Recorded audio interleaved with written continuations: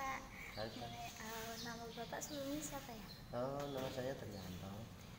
Eh, kegiatan Bapak sehari-hari apa? Eh, selain saya mengajar, saya punya usaha tentang pertanian yaitu produk dari singkong yang bisa ukurannya bisa jumbo Oh, itu tempatnya di mana sih Pak? di eh, Kali Gendong, Ampel Boyolali. Ya.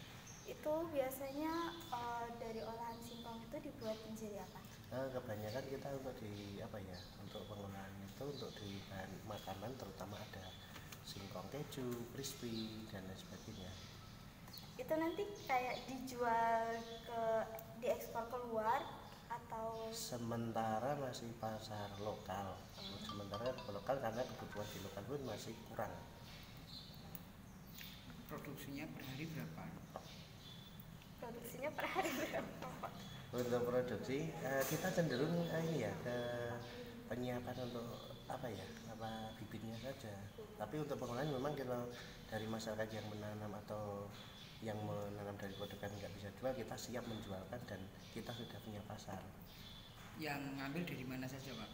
Yang ngambil ini kebetulan dari masih lokal yaitu dari Magelang, Kabupaten Magelang, Salatiga, Boyolali sendiri sama Semarang. Kecenderungannya mereka selain keripik atau apa lagi? Ada ini kan yang lagi itu kan singkong keju ya Pak ya. Hmm. Singkong keju yang seperti di Salatiga ada apa itu di sembilan itu ya. Tetapi mereka kewalahan untuk bahan bakunya. Kebetulan mereka juga panggilan dengan kita ambil dari kita juga. Itu gimana kok bisa besar gimana?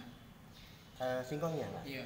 Eh, kita punya ada sedikit rekayasa yaitu memadukan dua varietas yang bisa membuat eh, di bawah rata-rata kita per dalam umur satu tahun itu singkong satu pohon bisa mencapai antara 40 sampai 50 kilo. Itu perlu biaya berapa? Eh, satu untuk eh, sekali tanam sekali tanam sampai dengan panen itu satu batang hanya butuh ya sekitar 15.000 itu sudah termasuk sewa lahan ya. Ini seperti itu.